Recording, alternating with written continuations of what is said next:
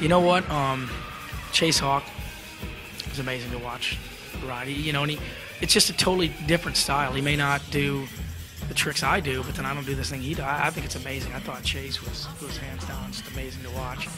And then so many other riders. You know, Danny Hickerson. It's the first time I've really seen him ride. You know, Aaron Ross was ride doing some cool. You know, it, it was like I, I ride one style and I see guys do something else.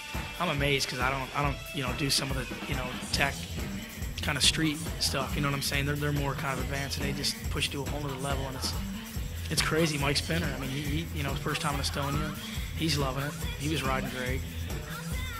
You know, I mean, so many of the. I mean, even beyond the finals. I mean, even in qualifying, if you sit there and watch, it's a good. It was a good contest. So many good kids. Mike Miller, man, he was he was awesome too. Just stylish, man. It's, it's, it's real smooth. It was awesome.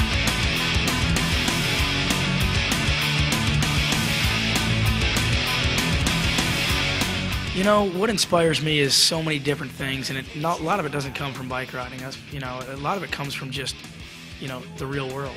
You know, real people and, and just stories. You know, I, I watch, you know, other athletes and other other actors and interviews and just, you know, just just people that have a story I love. You know, and I, I can watch true story, at, you know, programs all day long about, you know, something that's interesting about somebody, how they got maybe where they're at, or you know, forensic files. I watch that all the time. You know, all those things, man. I just, I just, I don't know. I'm just interested in that stuff. But you know, inspiration is just, just the real world. You know, just for the riders and, for skateboarding and kind of combining a course for two different sports is very, very hard. So, I thought it was a great course in the end in terms of, you know, what you got to see and what riders, you know, it, it's rise to the occasion, and that's what happens, and that's what, you know, we all did, and it, it was great. It was just cool being out there and just laid back, ripping around.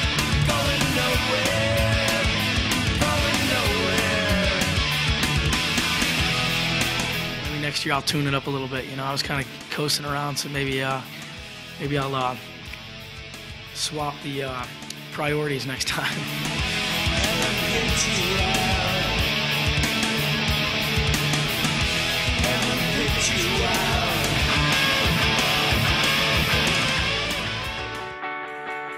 lõpuks siis tulemused. rulasõidu võitis eelmisel aastal teiseks tulnud Enis Fasilov Soomest. Teise koha sai rootslane Chris Aström ning kolmandaks sõitis end Lukas Tanek Tšehhist. BMX-i tänavasõidu ning kõrgeima lennuvõistluse pani kinni ameeriklane Josh Harrington, kellele võistlus lõppes sidemes peaga, mis muidugi ei vähendanud mehe võidurõõmu trikiratturitest saavutas teise koha noor imelaps Chase Hawk ning kolmandaks tuli suur favoriit Dave Mirra